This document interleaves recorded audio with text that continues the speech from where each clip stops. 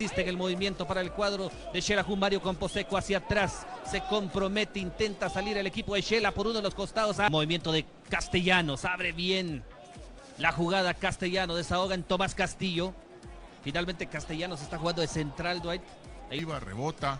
Eh, y ni hablar cuando empieza a llover un poco, que se pone más rápida y, se complica un poco en ese sentido la técnica de, cada jugador en el, Estadio Santa Lucía.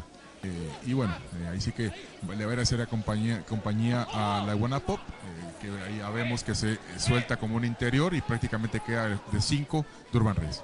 La pelota se termina perdiendo en el tiro de movimientos que hacen en táctica fija los entrenadores. Otro movimiento de Xelajú, Mario Camposeco, Tomás Castillo termina perdiendo.